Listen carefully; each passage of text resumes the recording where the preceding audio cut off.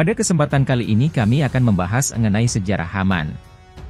Haman adalah seorang penasihat Fir'aun dan pelaksana proyek pembangunan menara yang digunakan Fir'aun untuk melihat Tuhan yang berada pada zaman Musa. Haman disebutkan dalam Al-Quran sebanyak enam kali, sumber-sumber dalam Al-Quran menyebutkan kisah Haman terjadi setelah kembalinya Musa dari Madian. Dalam kerajaan Fir'aun, Haman menempati beberapa posisi penting kerajaan sebagai menteri, penasehat raja, dan sebagai pelaksana proyek pembangunan menara. Haman diperintah oleh Fir'aun untuk membuat menara yang akan digunakan Fir'aun untuk melihat Tuhan Musa.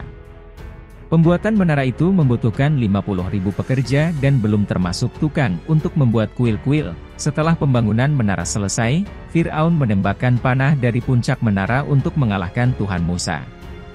Fir'aun berbohong kepada Musa bahwa Tuhannya telah mati dengan menunjukkan anak panahnya yang kembali telah berlumuran darah menara itu kemudian dirobohkan oleh Jibril menjadi tiga bagian yang menewaskan hampir seluruh pekerja. Haman jugalah yang menasihati Fir'aun untuk menolak misi keagamaan Musa. Pada peristiwa pelarian Bani Israel dari Mesir, Haman tenggelam bersama Fir'aun dan tentaranya. Beberapa tokoh orang-orang terdahulu bahkan tertulis secara eksplisit dalam Al-Quran dan sebagian lainnya dikisahkan secara implisit atau menggunakan simbol-simbol tertentu. Salah satu tokoh masa lalu yang namanya disebut secara eksplisit dalam Al-Quran adalah Haman. Allah mengutus Nabi Musa kepada Firaun.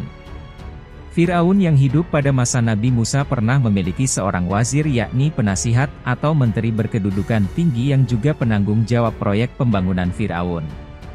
Sebagaimana dijelaskan para mufasir, menteri Firaun itu dipanggil Haman. Dia memiliki posisi sangat penting dalam pemerintahan Firaun dan menjadi salah satu pilar dalam pemerintahannya.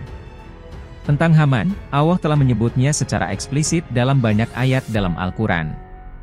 Seperti pada surat Al-Ghafir ayat 23-24 menjelaskan Haman, Fir'aun dan Karun mendustakan Nabi Musa.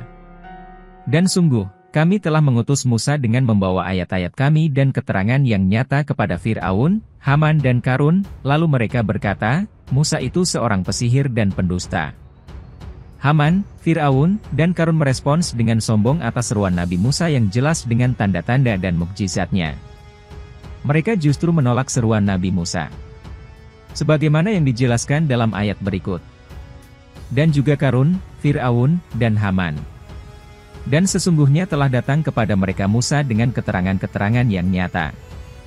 Akan tetapi mereka berlaku sombong di muka bumi, dan tiadalah mereka orang-orang yang luput dari kehancuran itu. Quran Surat Al-Ankabut 39 Allah berjanji kepada Firaun dan pengikut-pengikutnya serta menjelaskan akibat dari perbuatan yang telah mereka lakukan. Sebagaimana dijelaskan dalam surat Al-Qasas ayat 4-6. Sesungguhnya Firaun telah berbuat sewenang-wenang di muka bumi dan menjadikan penduduknya berpecah belah, dengan menindas segolongan dari mereka, menyembelih anak laki-laki mereka dan membiarkan hidup anak-anak perempuan mereka. Sesungguhnya Firaun termasuk orang-orang yang berbuat kerusakan. Dan kami hendak memberi karunia kepada orang-orang yang tertindas di bumi itu dan hendak menjadikan mereka pemimpin dan menjadikan mereka orang-orang yang mewarisi bumi. Dan akan kami teguhkan kedudukan mereka di muka bumi dan akan kami perlihatkan kepada Fir'aun dan Haman beserta tentaranya apa yang selalu mereka khawatirkan dari mereka itu. Begitupun dalam ayat 8 surat Al-Qasas. Maka dipungutlah ia oleh keluarga Fir'aun yang akibatnya dia menjadi musuh dan kesedihan bagi mereka. Sesungguhnya Firaun dan Haman beserta tentaranya adalah orang-orang yang bersalah. Tugas besar Haman adalah membantu Firaun. Dia menjadi mitra Firaun dalam membangun ide dan membantu menjalankannya. Haman melaksanakan keinginan Firaun yang menentang kebenaran Tauhid. Fir'aun meminta Haman untuk membangun sebuah bangunan tinggi agar dia bisa naik melihat Tuhan Nabi Musa. Sebagaimana dijelaskan pada surat Al-Qasas ayat 38. Dan Fir'aun berkata, Wahai para pembesar kaumku, Aku tidak mengetahui ada Tuhan bagimu selain aku. Maka bakarlah tanah liat untukku wahai Haman, kemudian buatkanlah bangunan yang tinggi untukku agar aku dapat naik melihat Tuhannya Musa, dan aku yakin bahwa dia termasuk pendusta. Selain itu juga pada surat Ghafir ayat 36-37. Dan Firaun berkata, Wahai Haman, Buatkanlah untukku sebuah bangunan yang tinggi agar aku sampai ke pintu-pintu. Pintu-pintu langit, agar aku dapat melihat Tuhannya Musa, tetapi aku tetap memandangnya seorang pendusta. Dan demikianlah dijadikan terasa indah bagi Fir'aun perbuatan buruknya itu, dan dia tertutup dari jalan yang benar dan tipu daya Fir'aun itu tidak lain hanyalah membawa kerugian. Hancurnya Firaun dan tentaranya termasuk Haman adalah imbalan dari penindasan, tirani dan kesewenang-wenangan yang mereka lakukan.